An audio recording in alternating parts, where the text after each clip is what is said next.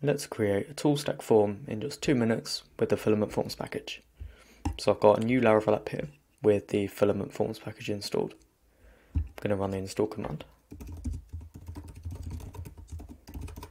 That just copies over some assets for us. So let's compile them.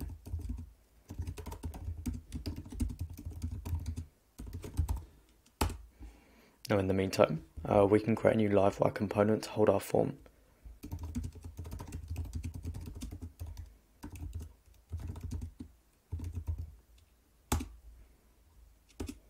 and let's register it in our routes file.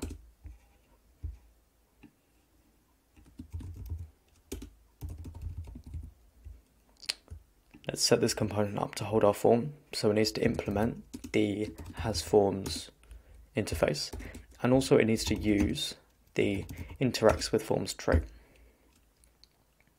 Now let's add some components to our form. So we might want a name field and an email field.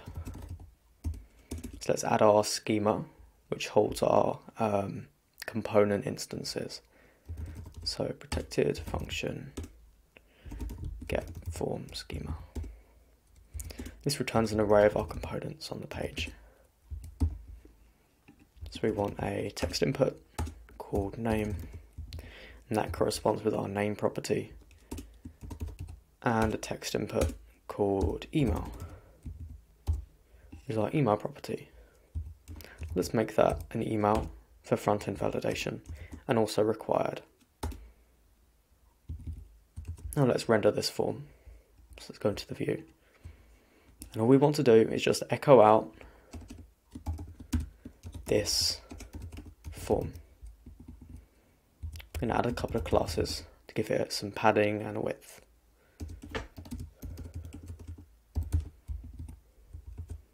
Now let's check in the browser. And as you can see, we've got our form with our name and our email field.